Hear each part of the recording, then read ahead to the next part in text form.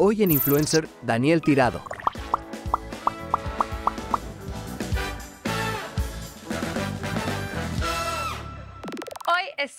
Con un invitado especial, Daniel Tirado, más conocido por sus viajes a través del mundo, pero hoy él está en su viaje más importante, que es el viaje al interior. Así que Dani, bienvenido. Compartir cositas bonitas. Es que veo como Dani, como que los influenciadores, como compartiendo tanta basura en las redes, sabiendo que el que tiene la posibilidad de influenciar personas, hay que empezar a influenciar cositas bonitas. Entonces, más que todo, como es el cambio que tengo. Dejar de mostrar solamente el selfie mío pagando bueno y sino como, hey, muchachos, cositas que nos sirvan a todos, porque si crecemos todos, pues mejor que uno solo.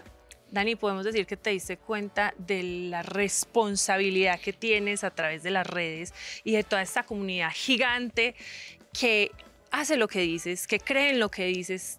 ¿Entendiste esa responsabilidad? Sí, lo veo como que, que lo- los jóvenes creen mucho en el influenciador. Entonces, con los padres ocupados trabajando y los niños todo el día ahí con el celular, con el celular, es como que, uy, si, no, si, si uno como influenciador no hace algo como por, por, por esas nuevas generaciones, esto cada vez va a ir peor porque son el futuro estas generaciones y están los pelados que no quieren trabajar, no quieren estudiar, no quieren hacer nada, están con cara de fofo en la casa. Entonces, uno como influenciador es bueno mover todas esas nalgas. Te voy a decir una cosa, tú fuiste el primer influenciador antes de que la palabra influenciador existiera. Cuando empecé con Viajando sin papel higiénico, sí, eso fue en el 2008. No existía la palabra selfie, no existía la palabra influenciador, no existía la palabra youtuber. Hacíamos videos en internet y la gente decía como estos patos que están haciendo en internet, era como que no lo entendían. Y ahora mira todo lo que hemos logrado. Estamos pasando por acá por algo muy significativo para ti, para tu vida, para tu viaje interior, para todo lo que has hecho, que es la escalada. Yo creo que es importante encontrar la pasión en la vida. El juego, el adulto deja de jugar. Para mí es la escalada, para alguien puede ser los mandalas, puede ser lo que sea, pero encontrar ese momento donde uno sale de la realidad y se conecta con esa dimensión donde le llegan ideas tan bonitas. Es en el juego donde llegan como las ideas bonitas para luego sí, prun, materializarlas. Dani, tú llevas escalando hace cuánto? ¿Cuánto tiempo? Más de 25 años. Y hoy no ves la escalada igual que lo veías hace 25 años que empezaste. Con la misma pasión, pero ahora le tengo como más devoción. Para ahora para mí es como un acto sagrado. Para mí ahora como si voy a escalar, cierro los ojos y es como, eso es mi acto sagrado, es mi meditación, es mi iglesia. Hay que encontrar qué es eso que te apasiona, porque te apasiona tanto, te inspira y te inspira. La palabra inspiración viene del latín inspirit, te conecta a tu espíritu. Entonces, encontrar algo que te apasione demasiado, como para mí esta belleza que tengo acá de deporte, y al hacerlo con pasión, te van a llegar muchas cositas de tu vida día. Podemos decir que uno nace con esa, con esa pasión o uno la va encontrando en el camino. nacemos con ella y si nos ponemos a vivir la vida demasiado seria, se va desconectando.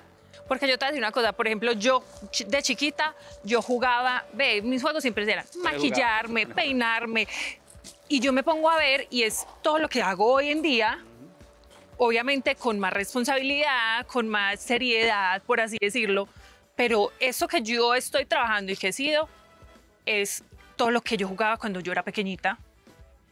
Y me da a entender una teoría eso que me dices que creo y es, yo creo que el propósito de lo que llamamos como propósito de vida es algo que se va construyendo, no es como que esto es lo tuyo y depende mucho de lo que fuiste antes. Hay cosas que uno de pronto no se acuerda, no sé, tal vez chiquitico tenías árboles de mangos y cogiste muchos árboles de mango, cogiste la habilidad de eso, luego a los 10 años, 15 años de encontrarse un muro, de escalarlo, escalaste y wow, lo sentiste muy rico, pero es porque ya tenías esas bases. Entonces el propósito viene mucho de lo que te hicieron. Chiquitico la, la tía te ponía a bailar y cuando menos pensaste creciste y te encantaba el baile, pero vino de las bases. Entonces hay que encontrar esas bases o eso que te gusta hacerlo tanto porque es la puerta de entrada a una vida más inspirada. ¿En qué momento como seres perdemos ese propósito?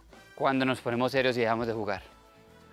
O cuando nos importa mucho lo que la gente diga, o cuando estamos buscando, no sé, satisfacer otras cosas que no sea a uno mismo, ¿no? Como que Sí. nos encargamos de darle gusto a tantas personas que al final uno dice, pero bueno, ¿y a quién le estoy dando gusto si, si soy yo por la que debo de vivir? que apaga esa chispa interna, los miedos, las dudas, y esto es una muy importante, el que dirán. Tantas personas que, uy, yo quiero ser tal cosa, pero uf, qué pena, de... esa pena hay que quitarla. La autenticidad es como de los valores más importantes de, de, una persona. Ser auténtico, auténtico es una persona intuitiva. Si sos auténtico es porque estás mostrando tu, tu versión.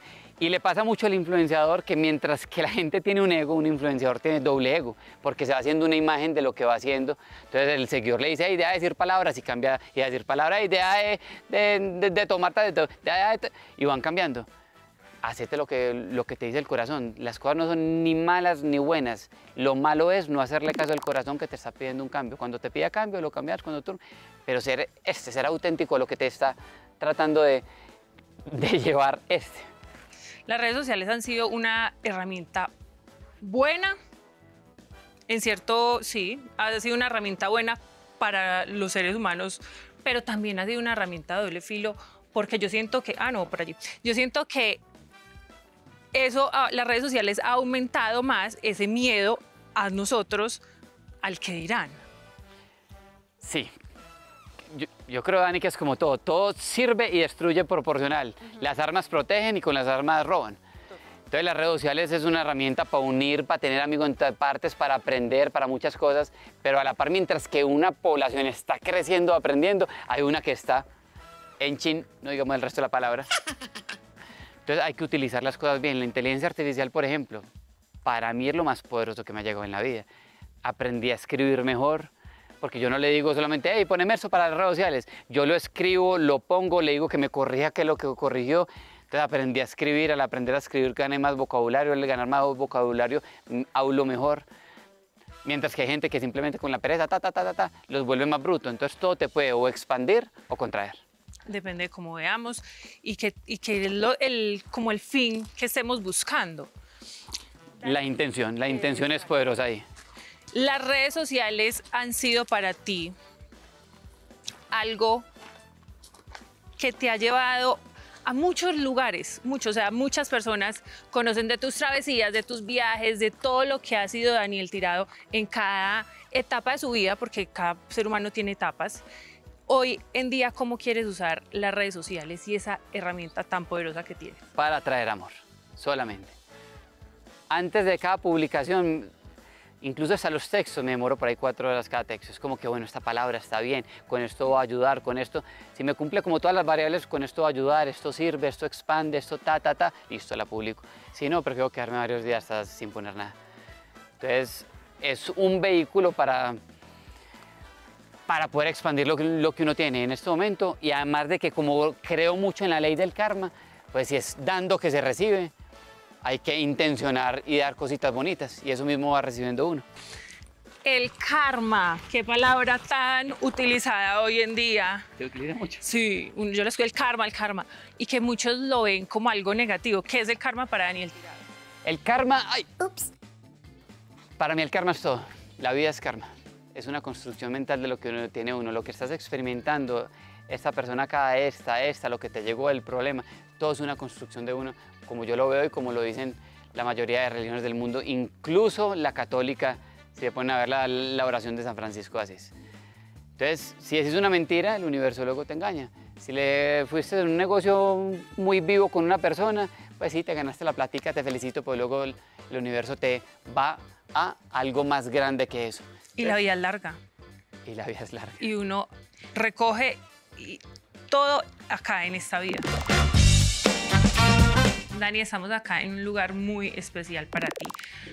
Quiero que invites a todas las personas que nos están viendo, qué pueden encontrar acá, cómo se van a sentir, mejor dicho, todo. Gracias, Dani. Esta es la represa La Fea, este nombre tiene bonito. Y compramos toda esta montaña, montamos acá una universidad de emprendimiento digital, enseñamos innovación digital, inteligencia artificial, redes sociales, creación de contenido, marketing, pero sobre todo trabajamos mucho a la gente del ser. Entonces hacemos talleres de siete días donde aprenden esto y todos los días respiración, yoga, meditación. Es un retiro espiritual y a la vez de cosas digitales. Completo. El combo completo para que ustedes vengan, todas las personas que hoy en día los jóvenes, la profesión que más quieren hacer, ¿sabías que es redes sociales? Redes sociales. O sea, hay un estudio que dice a los colegios qué es lo que quieren ser el 80% de los niños quieren hacer redes sociales. Y si yo fuera un niño también haría redes sociales. Y a mi niño que tiene seis años le enseñé, ya tiene sus mini redes sociales. Es una locura, una locura, toca repetir la palabra, tener una posibilidad de llegarle a personas gratis y no utilizarla. Y me preguntan, Daniel, pues no sé si estar en Facebook o en Instagram o en TikTok. Y yo lo escogí mi hijo en todos, y en Facebook, y en YouTube, y en LinkedIn. Es exposición gratis. Entonces, independientemente de lo que creen las personas, producto digital, producto físico, quieran dar a conocer un mensaje, necesitan las redes sociales. Es como una constancia que antes tal vez no. Hoy en día no es como que sí o no, es necesario. Todo el mundo debería tener una buena presencia en el mundo digital. Con conciencia, respeto y mucha responsabilidad. Así es. Porque con gran poder hay gran responsabilidad. Así es. Gracias, Dani. Yo me a ti, muchacho, gracias. Vamos a continuar disfrutando de este lugar tan espectacular que ustedes sí o sí tienen que venir a ver.